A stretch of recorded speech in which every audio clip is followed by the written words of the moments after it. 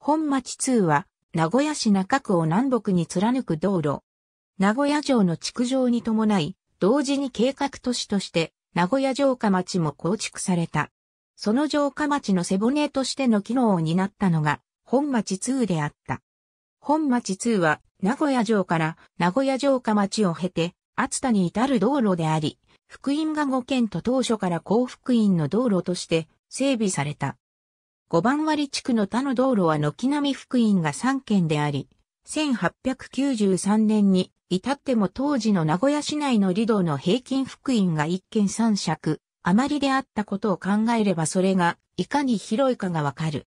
城下町では敵襲に備えて城に至る道路を曲げるという手法が取られることがあるが、本町2は東海道の拠点の一つでもある宮宿まで南北に直線に整備されている。江戸時代には大棚は上がってこの道路沿いに店を構えたという。また、東商祭の出しや朝鮮通信使のルートとしても活用された。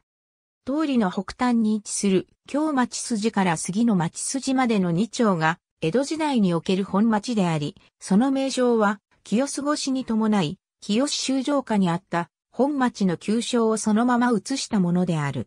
明治に入ると、本町2は国道第10号線として、総延長が一里14丁、福音ヶ島から6県の主要道路として指定されることになる。これは、本町2が東海道と名古屋城に置かれた第3、師団を結ぶルートにあったことによるものであった。また、1877年愛知県庁が久屋町に移転すると、玉山地角で交わる道路が、栄町から県庁までの7町58県が付属線という形で国道第10号線に編入されている。国道として指定された本町2であったが、その道路状況はあまり良いものとは言えず、1894年7月には道路東側の家屋を30尺退かせたり、大久保見と称する坂道を埋めるなどの改良が完成している。さらには、1928年の五大点記念を名目に拡幅が行われている。この時は、玉屋町4丁目から本町1丁目の延長線9メートルの区間が対象となり、福音は14.5メートルとなった。また同時に舗装工事と架空線の地中化も行われた。工事の完了に合わせて、従来の本町と玉屋町は統合され、三行本町通りと解消された。